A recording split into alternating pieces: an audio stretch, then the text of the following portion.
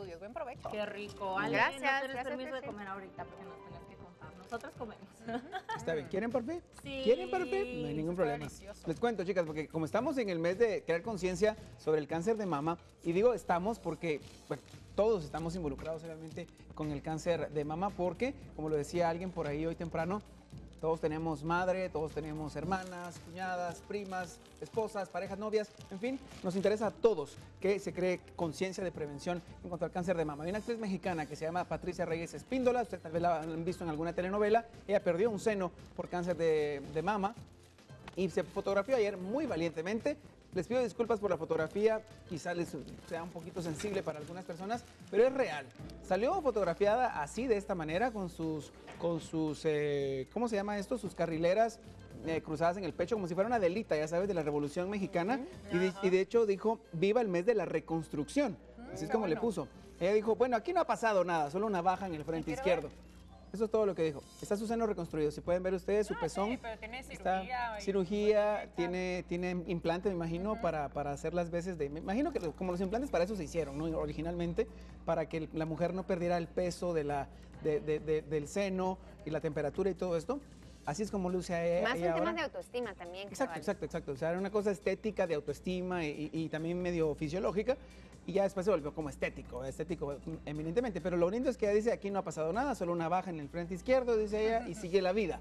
O sea, que gracias a. Dios sigue Sí, la vida, ¿verdad? Que lo exactamente. detectaron a tiempo. exactamente. Como sabemos, ella le llama octubre rosa a este, a este mes. Este mes es solo de conciencia. Y si ustedes han visto productos en el supermercado y la tienda que están eh, con la moñita, el lacito rosado, el tapón rosado, algo rosado, es porque son productos que están involucrados ¿Cómo en la. pala? en Fíjense que mi hija el otro creencia. día me dice, estábamos viendo un anuncio manejando y me dice, mamá, eh, ¿por, qué este, ¿por qué este anuncio tiene el mismo listoncito rosado que vimos en el centro comercial? Porque también lo habíamos visto. Y fue la oportunidad para poder explicarle sobre el cáncer de mama y demás. Y ya empezamos a tener una discusión con mis dos chiquitos respecto al cáncer de mama, la prevención. Y ahí aproveché a, a contarles un poco al Exacto, respecto. yo creo que es importante que los niños lo sepan desde pequeños. Sí, Mi mamá, por ejemplo, ha tenido cuatro operaciones de seno, gracias a Dios, eh, han sido todas falsas alarmas, digamos, de, de- en cuanto a cáncer, gracias a Dios. Pero nosotros desde pequeños supimos que era eso, el autoexamen, mi mamá haciéndose su examen, su mamografía anual, eh, siempre en octubre, el mes de conciencia, eh, en la mayoría de lugares salen ofertas Muy incluso buena. para que la gente vaya, el INCAN también en Guatemala, Fundecán también, así que creo que hay, hay, hay lugares, hay iniciativas y no hay excusa para decir yo no supe, yo no sabía dónde ir, no tenía acceso. Especialmente eh, si conocemos a alguien. Mi tía sobreviviente de cáncer. Yo O creo sea, que más de algún, siempre tenemos que estar pendientes. Así de grande cerca. es la cifra, ¿verdad? Así que Exacto. estamos Pero bueno, este mes apoyando y qué bueno que las bueno famosas que se, apuntan. Exacto, exacto. Y, y tuvo la valentía de salir así, en una Sí, foto, no ¿verdad? pasó nada, la verdad. No pasó nada. Gracias a Dios. Hablamos ahora de Andrea Bocelli y Ariana Grande. ¿Se acuerdan de Andrea Bocelli y Marta Sánchez hace unos años con Vivo, Vivo por ella, la canción, un dúo interesante? Pues ahora hizo el dúo con Ariana Grande. Imagínate una buena fusión de voces. Bocelli y Ariana Grande, nada más y nada menos. wow.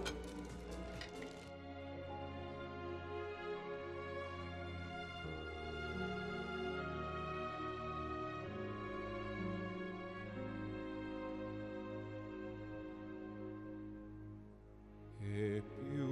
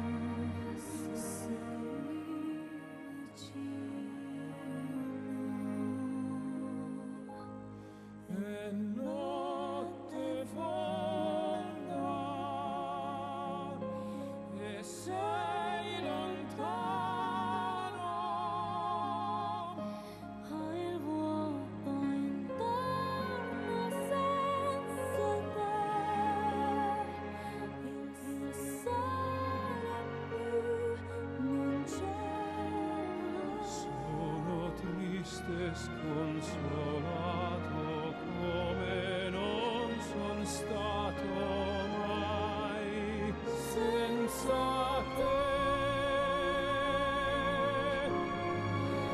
senza te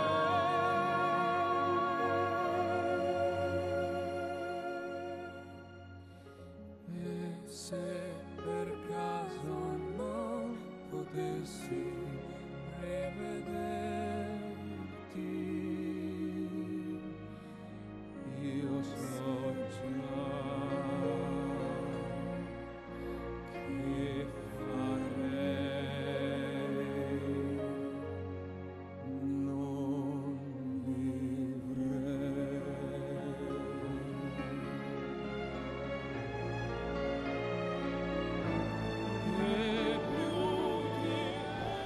el nuevo disco de Andrea Bocelli, se llama Cinema y es como una recopilación de películas, de canciones de películas. Tal vez no tan conocidas las películas como otras, digamos, pero es como una reedición de versiones anteriores. Esta película sonó eh, como soundtrack de una película que se llamaba eh, Once Upon a Time in America del 84 con Robert De Niro y James Wood. Y bueno, es la canción se llama E più ti penso. Y te pienso más o y más te pienso, una cosa así podrá decir. Mi mamá lo acaba de ir a ver a concierto, precisamente danzando este. Cinema. Ajá, cinema. Dice mi mamá que quedó De llorar. ah, fascinada. De Pues. llorar. Es la mejor. Imagínense, Dice, ya taché esa de mi bucket list. Me dijo. escuchar a Bocelli en vivo. pues bueno, ojalá que regrese a Guatemala algún día, que la vez pasada no fue tan Fue un poquito de caos. un poco caótica la presentación. Ojalá regrese a Guate y cante algo de cine aquí con, con nosotros. Y bueno, para terminar, ayer ya sabes que lo que me estabas diciendo hace un rato, la gente a veces toma de diferente manera una publicación en una red social, ¿verdad? Sí, ¿cómo Unos apoyan, otros eh, te critican, otros te hacen pedazos. Sofía Vergara publicó una fotografía de un allegado a su familia, no se sabe exactamente quién es, es un sobrino, un hijito de, de alguna amiga o algo así, pero él se tomó, la tomó la foto, él se metió a este, a este como kennel, quiero que lo vean por favor, jugando. Ay, Los niños hacen esas favor. cosas. Travesura. Los niños hacen Todos esas los cosas. días, a todos los días y todos los niños hacen. O sea, el niño que no haga eso es un niño que, que- que- que- que tal vez no está bien. Pero se, met- se metió al kennel y le tomó la foto y dijo lindo. Le puso lindo, como que dice, mire qué, qué, qué lindura. Pues. Bueno, las críticas, ¿verdad? ¿Cómo encerras al niño en un kennel? ¿Cómo enjaulan al niño? ¿Por qué encierran? En serio, o sea, en serio. Pero, pero, pero en Aparte, este caso. la carita, se mira que está. Aparte está abierta la puerta. Aparte está abierta. Está abierta la puerta, el niño se está riendo. Y, pero fueron los propios fans de Sofía Vergara los que salieron en su defensa y dijeron, momento, o sea, Ah, el niño sí. está jugando, ella le está tomando una foto a su niño, o sea, ahora resulta que los niños no pueden ni subirse a una cama elástica, ni a un columpio, ni no nada. puedo con O sea, la gente y las ganas de molestar. Eso es. Y mira, vos- subís una foto y creo que están buscando y hasta le hacen zoom para ver algún defectito y ya poder criticarte, porque así hay un montón. en serio, el, el otro día ponerle del, del- de lo del MacDía, pongo yo mi foto, eh, apoyando con la gabacha, no sé qué, y pone alguien, ya se te ven arrugas. O sea, sí. ¿De dónde? Pero ¿qué O tiene sea, que ver un- el- el- Maquilla la- feliz, la- ajá, ¿qué tiene que ver la gimnasia con la magnesia? O sea, no tiene absolutamente nada que ver. Y bueno, ahí está. se mira tan feliz, haciendo su travesura. o sea, feliz.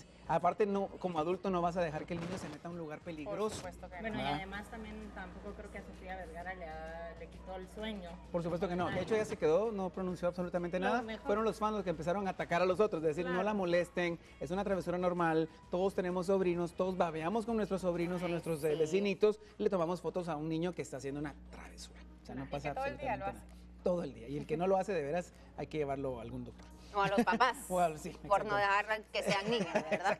Ay, Dios, por Pues bueno. sí, las redes sociales. Te Pero juro, bueno. es un arma de doble filo, pero también estamos expuestos. O sea, sabemos Sí, a lo que jugamos, es una, es, es parte, es una regla del juego, pero también, o sea, hay, hay- hay de comentarios a comentarios. ¿verdad? Ahí están. Ahí está. Bueno, Ale, Los famosos. Paranduleamos un ratito. me encanta. Muchísimas gracias. Yo sigo Y con el que Nos vamos a una pausa, chicos. Yo creo que sí, que tenemos más. mucho que comer. Regresamos enseguida Ya con mucho más pausa, Nancy al regresar.